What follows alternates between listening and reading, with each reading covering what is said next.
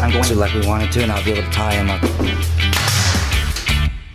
What's up DIY Nation? We're back out at our stair remodel in Gallatin, Tennessee. And the last time you guys were with me, I was explaining to you that I was on the worst set of steps that I had ever seen. Let me tell you, these things were a total wreck and there was a lot to do if I wanted to make it back to drywall. So I came up with my own solution, made my own baseboards and my own skirt board, and you guys got to see how we installed that, how I painted it, how I cut it up with the router and everything like that. But today we have got a whole lot more things on our plate. I've already got the baseboard and one of the landings installed. I just got to get this next one installed, get these stair nose figured out, and also put the stair nose on the main set of steps so that I can wrap carpet around them. There's a lot to do, guys. So let's don't waste any time and jump in right here where we left off on the next landing. So as you guys can see, I already have the top landing installed and I wanted to make sure I got that in so I could go ahead and set the baseboard down over there to the right. But the second landing on the bottom needs to be done. And the way I did it was just take all the measurements for a triangle and then I put a bunch of pieces together. That way I can just measure the measurements from the triangle and transfer it over to this big giant floor that I put together outside. That way I can cut it all in one piece. And the reason for that is because I need that front to be super straight across because I'll be putting a stair nose on there that I'm going to be making. You guys hang around to the end so you don't want to miss that one.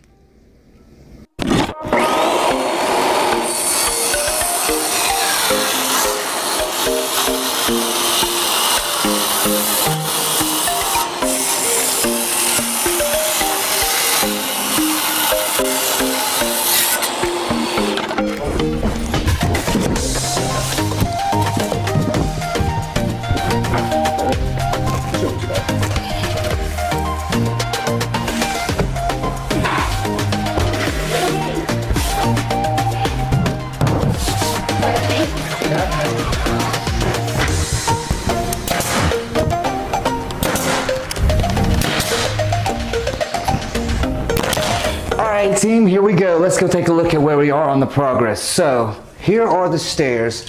As you can see, uh, I'm not sure where we left off on our last progress report, but I'll just, for those of you who are just joining us, just jump in and I'll show you that right here, there was a lot that went on. I had to put a lot of thought into this. And I just went ahead and just redid the risers down here and they all looked a mess and they were all like this right here. We're going to do carpet on the rest of that. But I was able to make some custom baseboard with my router. We discussed that earlier, and then I was able to rerun all this base back around. And by making my own, I was able to make my own skirt board and tie it into this. Now, as you can see, we are just about ready to rock and roll with the, the final what it is we're going to do here and let's talk about that right quick so what I'm going to do is I'm going to go outside and cut some stair noses that are an inch and a half thick and they're probably going to be about seven of an eighth deep. So seven and an eighths out this way right here. And that is because I'm going to be putting carpet on these going wall to wall. So I'll be putting tack strip over here on this part of it and on that part of it across the bottom and everything. I still have a little couple things I need to fill in at the bottom.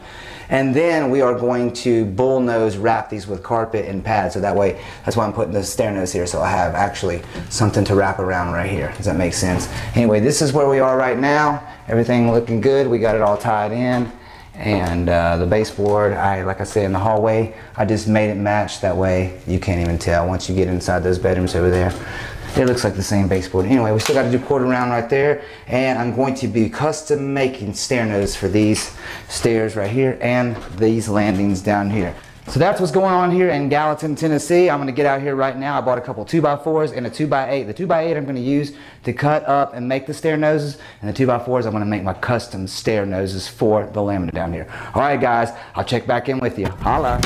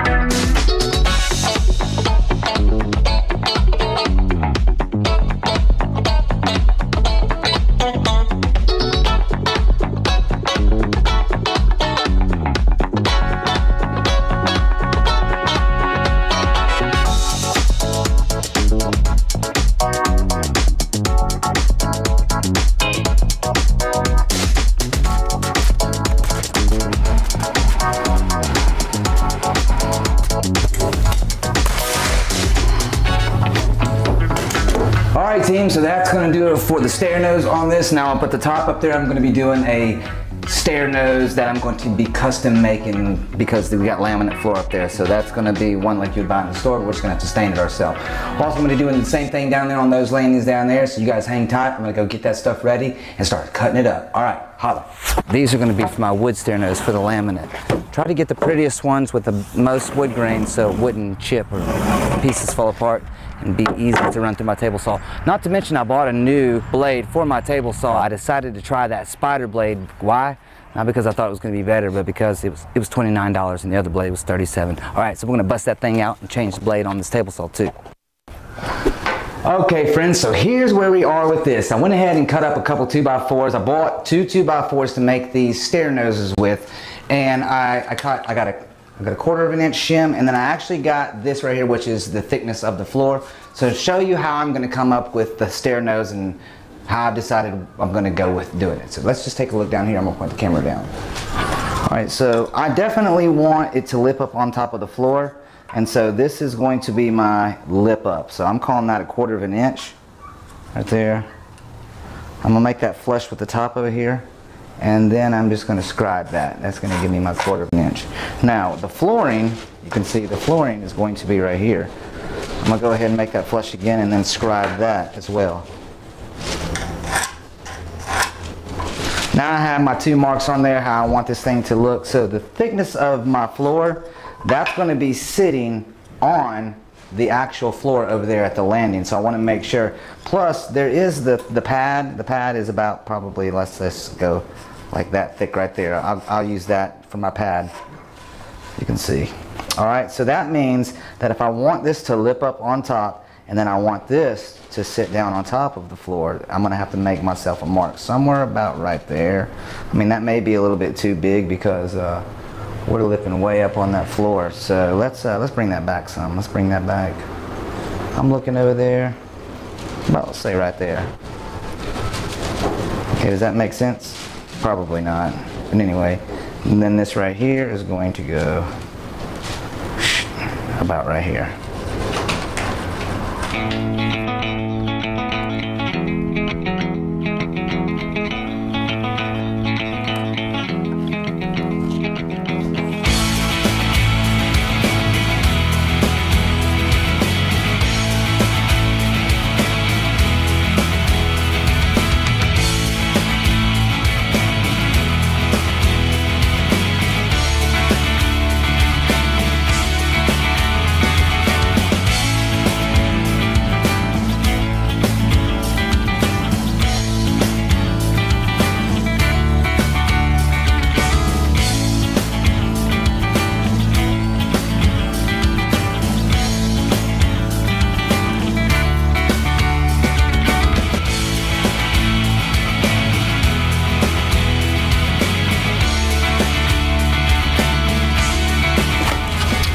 What's up DIY fam? Alright, so we are back and it's the next day. It got a little bit late on me last night, but I did get these stair noses started, so I wanted to talk you through what's about to happen. So as you can see right here, this is my quarter of an inch. This is the part where I made it a quarter of an inch. You could go, I wouldn't go too much less than that because you just, there's a point right here where it just gets a little bit weak, you know what I'm saying? And we don't want it to break. Even though this part will be setting on the floor and glued down, it's not gonna take any chances. But this part right here will be what lips over top of my laminate.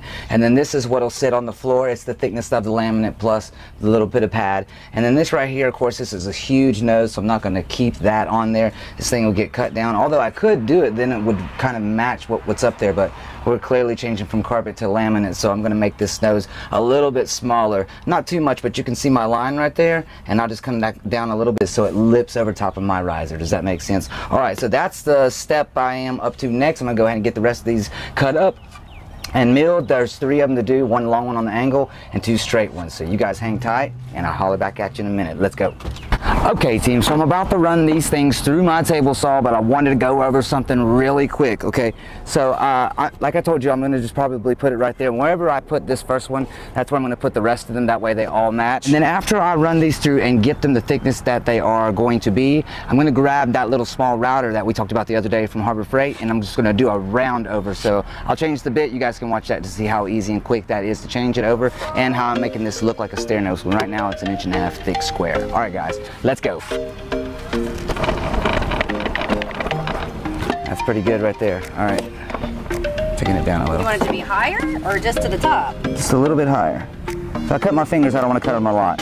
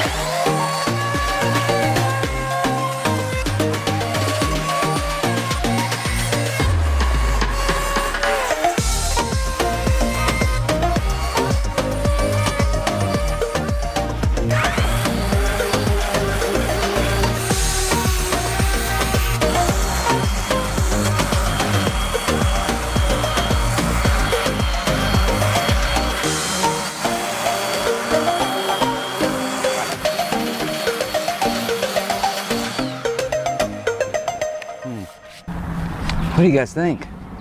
I'd say that looks like a stair nose. I'm keeping it. Okay team, so check this out. I got the rag here. I'm fixing to start staining now. The ones that I've grabbed is golden oak. I got uh, walnut, dark walnut, and honey. And I'm not sure what they're gonna look like because they look different when they're on oak and when they're on pine. So we're doing on pine and it was a little dark when I did it on the oak. So I'm hoping I get a little bit of a light brown on this. Uh, so one of the tricks I did on here is to go ahead and put it on in layers and then come back with a sander and, and sand it off and then put a clear coat on it because the wood in there is full of like, it, it fades. It doesn't just chop off from light to dark it just kind of fades, so it makes it more splotchy. So that's what I'm the, the effect I'm going for. I'm going to start off with my golden oak 'cause it is the lightest one. I'm pretty sure it's going to go on dark, but we'll see. It may be all I need.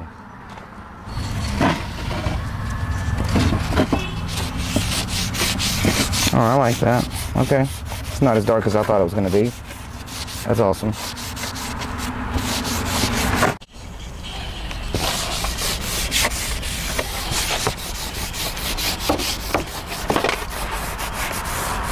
Alright guys, coming in with the dark. So I will try, that is honey. See what honey looks like on top of that first, and then we'll bring our dark walnut in. Ooh, look at that. So I don't need a lot of it, just enough here and there. Splotch it all around like that right there.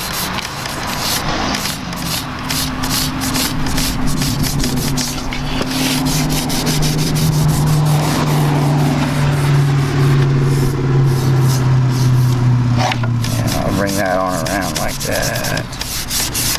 Blend it in like that. Oh yeah, it's looking nice. That. Uh-huh. Uh, Slide that on in there like that. Give me a little bit of a darker color, but not as much as like I got down there. Oh, what do you think, guys? Hmm? Yep, we're getting there.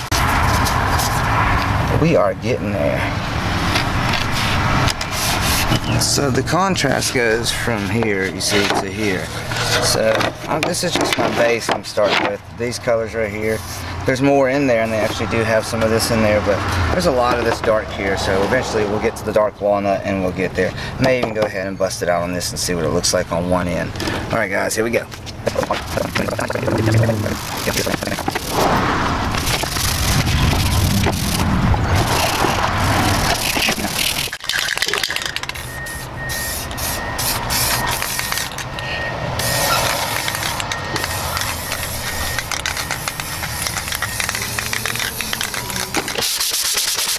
Oh yeah, that's looking great, guys. Look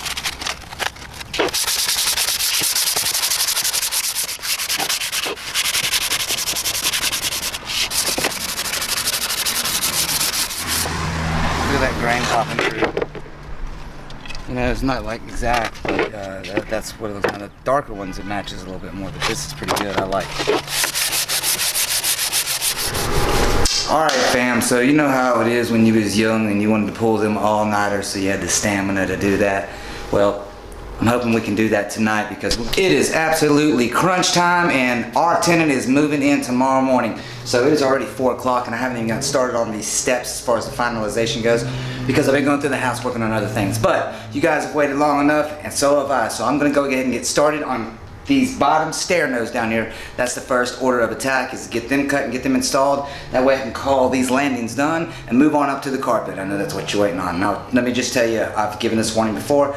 I am not a carpet installer, so when you look at my methods, don't look at it as the holy grail of how to install stairs. This will probably be my fourth or fifth set of steps. So I can tell you this, it may not be right, but I'm getting a whole lot faster at it. All right, guys, let's go ahead and get started.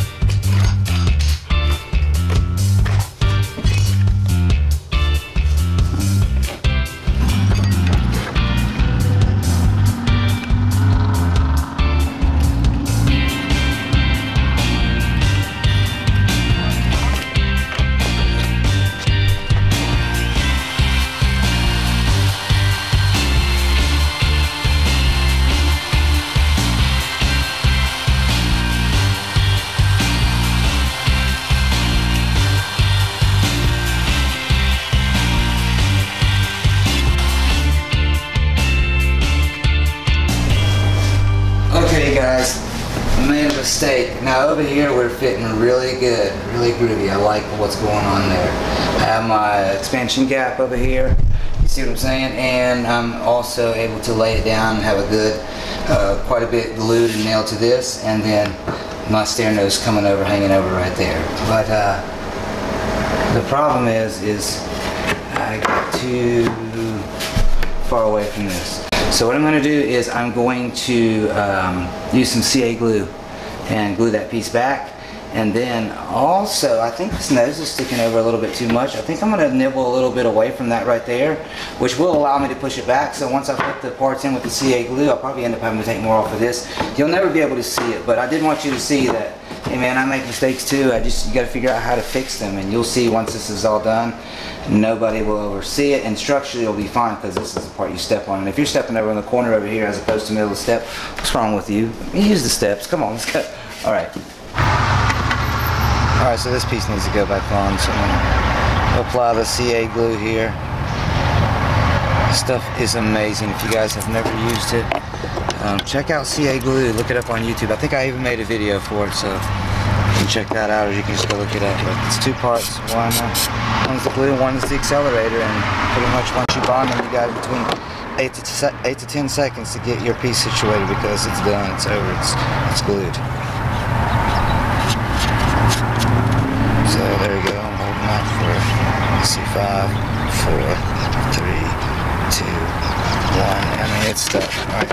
So now that I have that put back on, it's like it's like it never happened. I mean, I know there's a slit there, but that's where I'm going to cut anyway. That part was good. Uh, I just got to figure this out right here and then fill in my crack. All right, you guys. So here is the finished product. Now I did put some uh, wood putty in there. I'm probably gonna put a little bit more and then we'll just put a little light sand on, but it turned out fine. This is to be the first stair nose and it lips over the riser just perfect like we said. And now where I cut that piece of baseboard right there. Alright, so right there where I cut the baseboard and slid the riser in, that's perfect.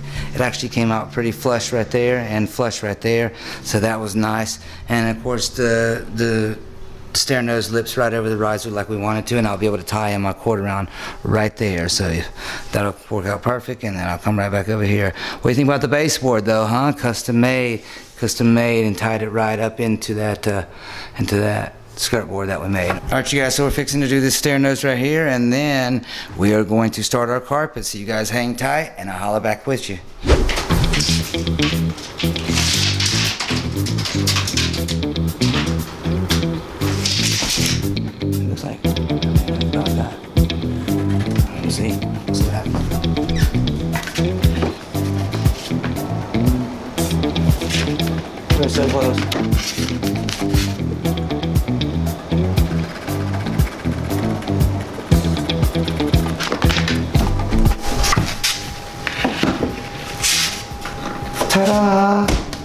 Guys, that's it. Now I'm just gonna get me a piece right there and just return it back right there so it's just not so daubed off.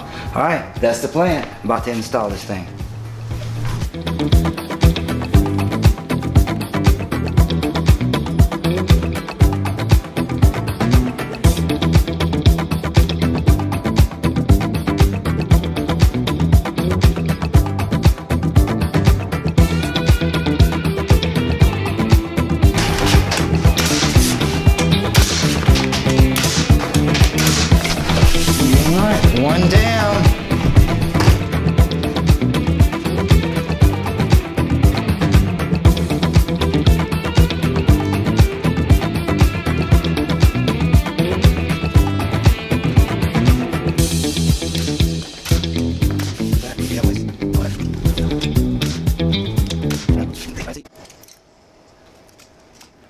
Team, it was time to install the tack strip.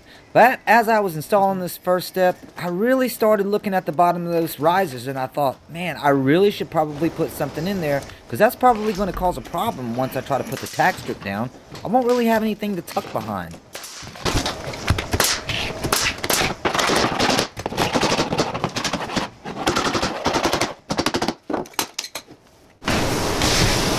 I'm not really liking this right here, and I don't really want to fill every one of these up, but I, I, I might have to. Uh, just to give me something to tuck underneath once I put my tack strip down. You know what I'm saying? So, let's do that. Uh, man, that's gonna be, that's a lot of cutting, but I mean, I have them out there, so let's just cut a bunch of them, huh?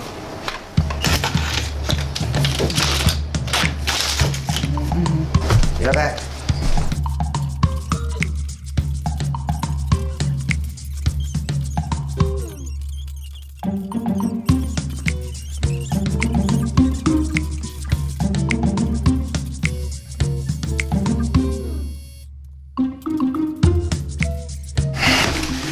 Alright guys, here's the first one, and uh, I got all these cut too. Go ahead and nail this down.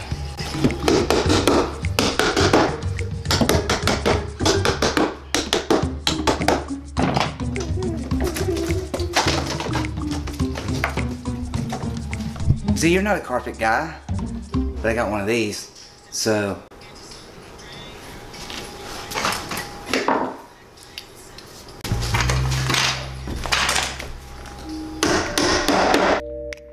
Alright you guys, my next step was to go ahead and install all of the tack strip on the rest of the steps. Now there are plenty of videos out there on how to install carpet on steps. I suggest Floors by Southern Boys. He's got plenty of videos from start to finish. This however is a stair remodel from start to finish and this video was already so long so I didn't figure you guys wanted to see me install the tack strip on every one of these steps. You'll thank me later. I did want to mention in case you didn't know that tack strip does have two sides, a slope side and a flat side. You're going to want to put the slope side towards the part you're going to be kicking your carpet over. Now right here, I can't tell you guys how helpful this carpet staple gun is. It has helped me in so many situations when it comes to tacking carpet down for transitions or whatever, but I generally use it the most when I'm doing a set of steps. You'll also need a good tuck knife and maybe a kicker, but you can probably get away without it if you have a good tuck knife. I generally start my carpet at the bottom of the steps, but I wanted to try it from the top this time. I'll continue doing it from the bottom. Actually, I did a couple steps and I went down to the bottom and started and met him at the top. I'm not sure why, it just seems like it works out better for me when I start at the bottom.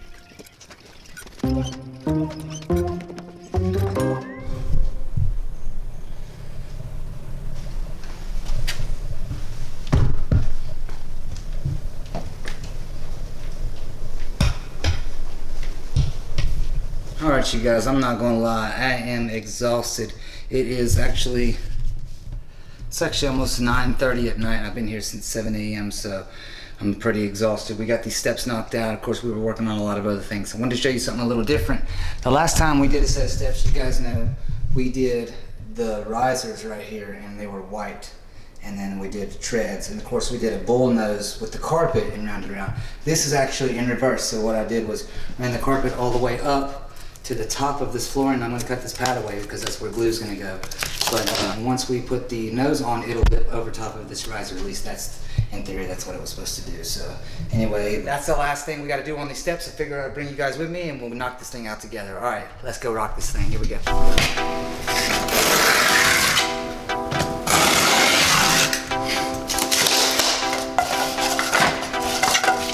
Hey guys, I wanted to interrupt this video for just a second to mention something to you guys. I do YouTube videos and I also do floor and as you can see I'm doing stairs and though it does take a lot of time to do stairs it actually takes a lot more long when you're trying to film and get everything set up. So I hope you guys can appreciate all the filming close-ups and and all the instruction that I try to give you guys in hopes to bring you some kind of value or bring some inspiration to your project. So if you guys can appreciate that, help me out by smashing the like button so that YouTube will send my videos out to other people. That's all I ask. If you're gonna watch the videos, please help me out by liking it. Hey, and if this is your second or third time back, might as well become part of the DIY family and hit the subscribe button because we put out videos all the time. We have two channels. All right, guys, back to work. Last step.